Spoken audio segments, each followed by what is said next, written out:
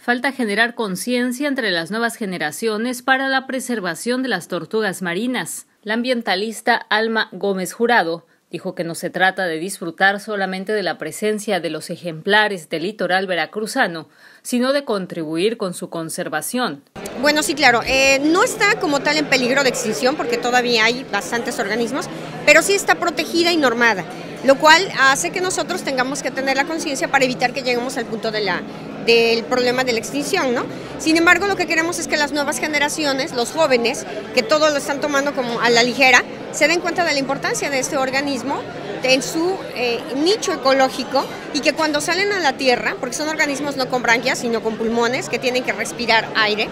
eh, como nosotros, salen a la playa y desoban y que la gente cuando los vea sepa captar y sepa emocionarse al ver este tipo de organismos que normalmente no están dentro de nuestro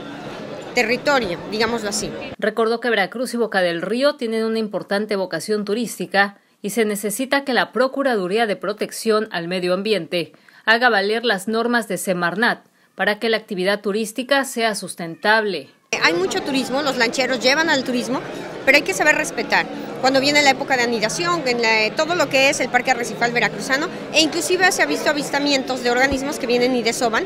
en Boca del Río, pero ya en la playa como tal y en algunas ocasiones ya en Veracruz. Entonces es importante tomar conciencia de que el organismo en donde nace regresa a desovar y bueno, que se le permita de alguna manera continuar con su ciclo biológico de vida. Exhorta a los ayuntamientos a trabajar en campañas de concientización sobre el medio ambiente a través de sus direcciones. Boga Reyes en la Cámara para Imagen del Golfo, Laura Morales.